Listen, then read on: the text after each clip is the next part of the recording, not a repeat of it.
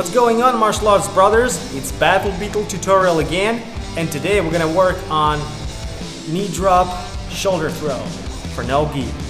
One of the main concepts is being tight with your with your grips. Okay, here I shouldn't create any gaps, any spaces in between us. I should be I should really um, stick to him. Okay? Well, Okay, let's take and start our standard position, okay? I'm grabbing his neck, he's grabbing my neck, okay?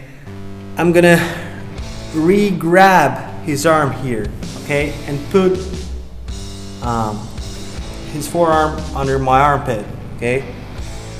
My left arm goes under his armpit, gets the grip of his shoulder, and I put as much pressure on his shoulder as I can dropping a little bit down.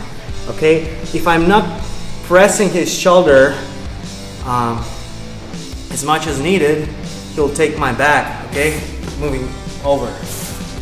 I'm stepping in between his legs, okay, as far as I can, and then I rotate on my foot and drop on my knees, continuing to uh, to hold the same tight grip here right?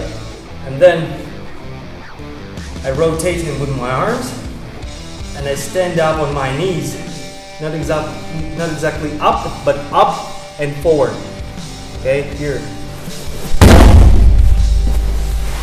And go for a scarf hold. Right, or side control. If he's going forward towards me, I don't need to do this, okay? I'm just going for this throw right away. Okay, I'm not uh, isolating his arm here and then dropping on my knees. I'm dropping on my knees right away. Okay, he's going forward. It was Battle Beetle and knee drop shoulder throw for no gi and MMA. We'll be back with our stuff very soon. Stay tuned, guys. Take care. Good luck.